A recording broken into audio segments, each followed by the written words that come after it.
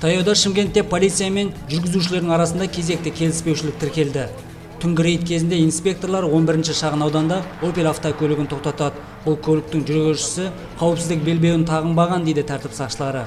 Дегенмен осыны тексеру барысында тағы бір құқық бұзушылық тіркелді. Яғни жүргізуші мен оның достары көліктің ішінен рұқсатсыз шығып кеткен.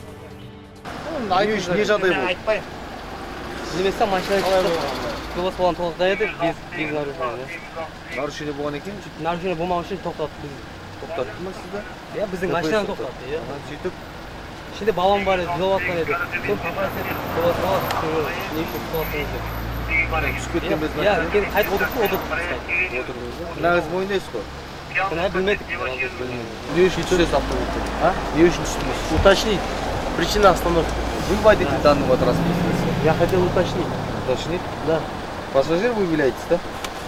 Я? Да. Другом являюсь. Другом? Да.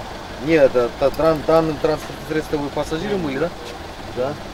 Ладно, а тогда вы, а что вы без разрешения сотрудника полиции вы водите не средство? вылезли қалай болғанда да полиция қызметкерлері тәртіп бұзған азаматтардың үстінен әкімшілік хаттама толтырып айыппұл кесті.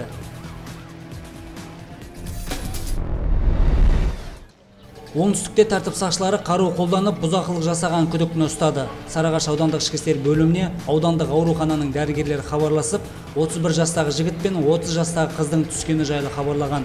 Ол екеуі де атылған оқтан жарақат алыпты.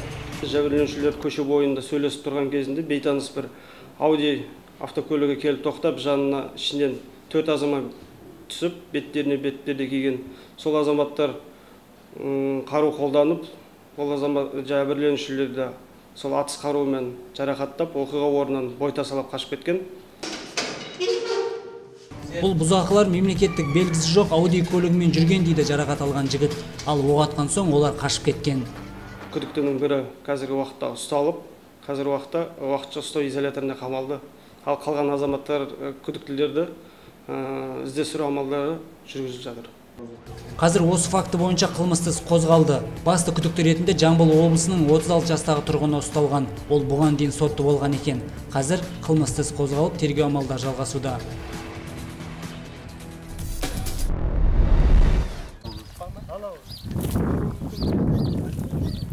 Бас жағымды түсірме бас жағымды ше қолымды төтенше жағдай департаментінің құтқару жасағына қайтпас екі шағын ауданның тұрғындары хабарласып көмек сұрайды. Олардың айтуынша ауласындағы бақшасында жылан жүр.